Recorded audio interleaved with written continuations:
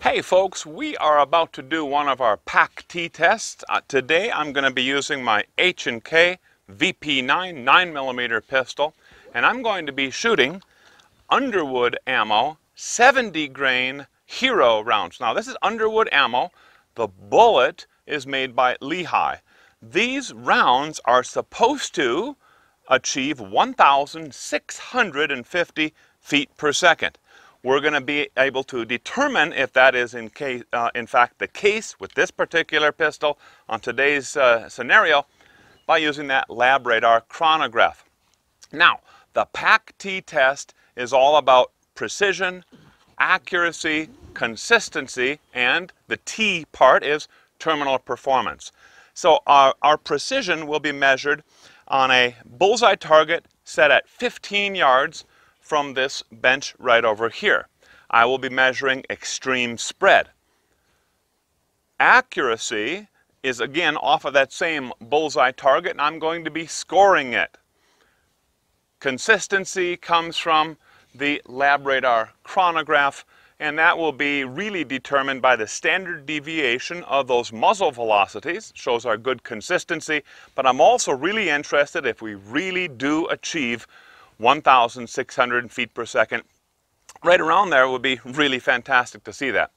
The last part of that test, the terminal performance, is where I'm going to be putting one round of this Hero ammunition into clear ballistic ballistic gelatin from seven yards. Now, I'm going to be putting all of these bullets that we're going to do this year through a little bit more difficult test, and they are going to have to pass through some canvas.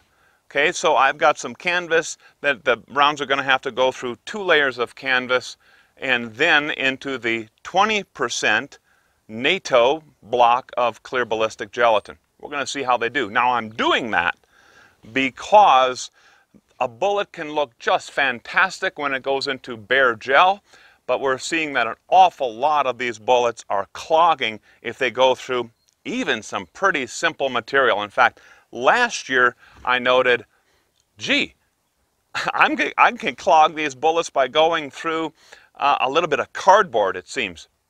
So we're going to see if this hero round uh, actually does expand inside that ballistic gelatin.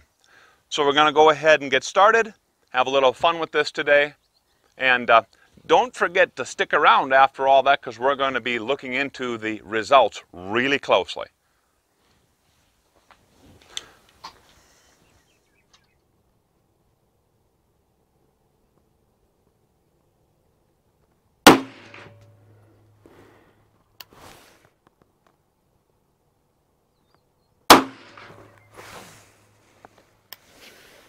I'm curious if the velocities are too fast for this handgun setting. So we're going to make an adjustment here. I'm going to change this to a rifle.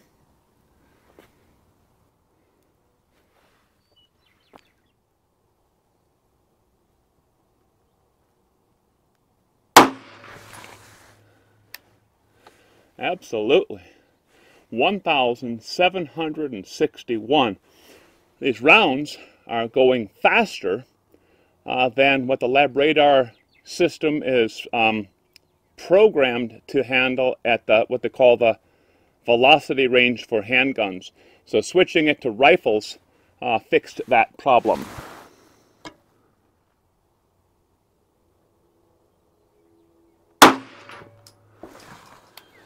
Wow, they're really going.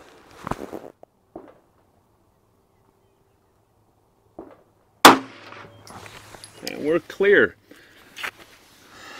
Really looks like some excellent consistency here. I'm going to disarm it. Yeah, well now again, of course, we only recorded three of those rounds, 12.5 feet per second standard deviation, but our average was 1775. This is the 70 grain Underwood ammo Hero rounds. All right, let's go put one, one more, into the clear ballistic gelatin from seven yards.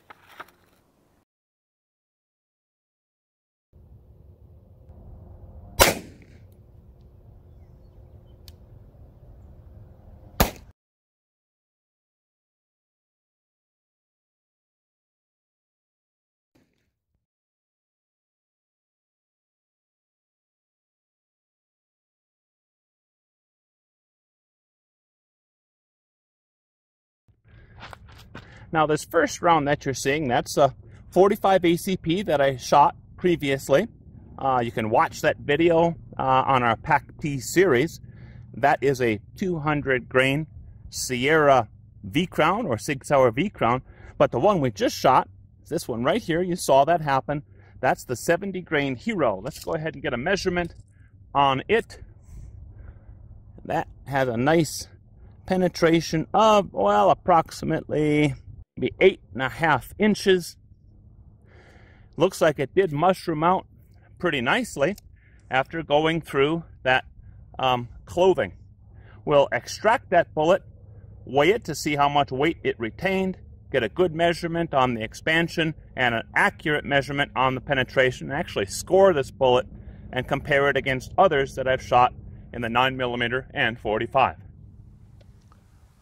Let's run through the results for this Underwood Ammo 70 grain Hero bullet. Now the bullet is made by Lehigh, the factory ammunition is made by Underwood Ammo.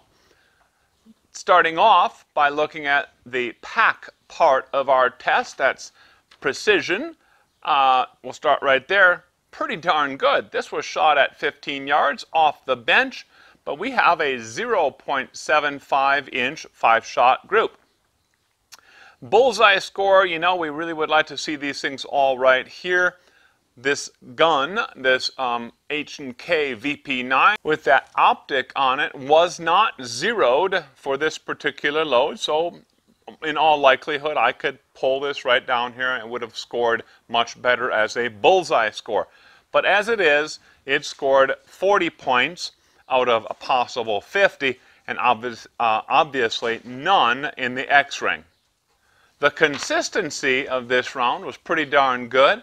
We saw 12.5 feet per second of standard deviation and a tremendous muzzle velocity of 1775 feet per second um, for this little 70 grain bullet. For the terminal performance, we looked at a couple of different things here. Number one is the penetration, that is eight and a half inches into that 20% NATO gel block after the bullet passed through two layers of that uh, canvas.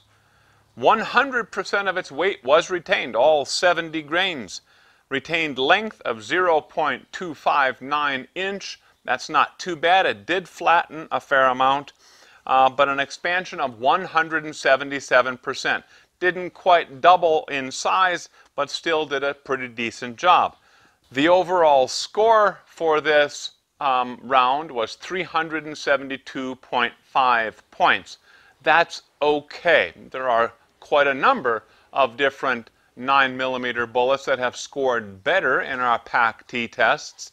And you know, going into this test, I had a couple of things I was thinking was uh, were going to happen.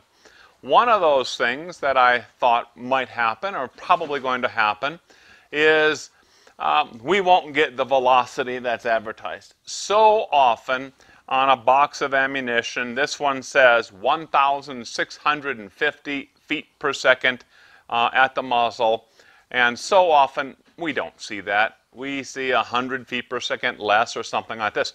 But this is incredible. 1,775 feet per second average after five shots. That's tremendous. This little bullet is really going. You know, and that makes me think about comparisons with the 5.7 and some of those other very small calibers uh, that are just driving those bullets very, very quickly. You know, I looked up some of that information, in fact. Uh, the, the 5.7 uh, number one, is not available in something as heavy as a 70 grain bullet. Um, but um, the, their lighter bullets are moving along at this speed and actually a little bit more, a little bit over 2,000 feet per second. But uh, that's a 40 grain bullet that's doing that, that FN offers, um, but nothing like this. So that's kind of interesting to me. You hear a lot of talk about those uh, 4.6 and 5.7 uh, calibers and um, uh, some of the advantages of those sorts of calibers. But then we look at this and uh, it kind of comes close to that same range and maybe uh, providing those same qualities. although this is a purely pistol bullet that's in there, quite a bit different than what we see in the 5.7 and the 4.6. But anyway, uh, let's look a little bit more closely at the terminal performance. What we're looking at here is the maximum temporary wound channel. Uh, we also call that the transient cavitation channel. Um, the maximum that I caught on video. What we're seeing is a pretty decent uh, temporary wound channel, that ballooning effect. But of course, since this bullet only penetrated about halfway through the gel block, all of that energy was dumped in that first eight inches of the gel block. That's okay, it's not terrible, and of course this bullet did not clog going through that canvas. And that of course relates to the other idea that I had before even shooting this bullet into the ballistic gelatin, and that is that it would not penetrate very far or very deep into the gelatin. It's kind of just what we expect. You've got a light bullet um, coming out of a uh, pistol, and uh, the pistol design type of, uh, uh, of bullet in the first place, uh, those tend not to penetrate very, very deeply. So eight and a half inches, kind of what I expected, thinking maybe we'd get nine, maybe 10. Uh, wasn't really thinking we would get anything deeper than that. But you know that, that bore out, and we saw that in the results inside that ballistic gelatin. Now, seeing those velocities, 1,775 feet per second, saw it right there on my chronograph, that made me start to think, I wonder how much muzzle rise we're going to be getting out of this round. Uh, how snappy is it going to feel when we're shooting it offhand, standing? So, went out, back out to the range, a little bit warmer day, and, uh, and I shot another test. And here's what I did. I took five rounds of the same hero uh, round, and I took five rounds of what I'm accustomed to shooting 124 grain Hornady XTP jacketed hollow point.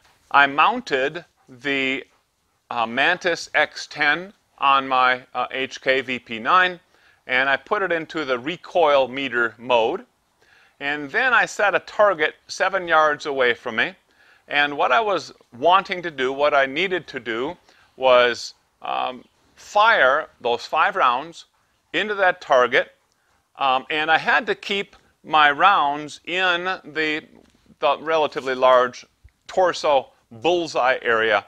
And I'm looking at the total amount of time spent firing those five rounds, what is the average muzzle rise, what is the average recovery time. So I shot this little test and I also had my son shoot this test with his Sig Sauer P320. And what we saw is there's not much difference between these two. In fact, we were both slightly faster, just a hair faster with the Hero round than with the 124 grain. The 144, uh, 124 grain bullets that we've tested previously, very, very different in that ballistic gelatin. But anyway, the Hero round. Bottom line on the Hero, you know, it's not bad. I'm actually pretty impressed with this thing, especially with the velocity that this factory ammo is achieving.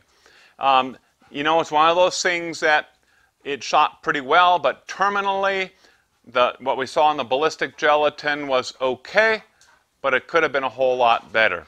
Uh, like to see a little bit more penetration out of those bullets. Uh, we didn't quite see that with the Hero round. So we've got some more PAC-T tests coming up. Another one that we're going to be doing that I think is going to be really exciting to check out is the 115 grain 9 millimeter from Corbon. You won't want to miss that one. Thanks for watching.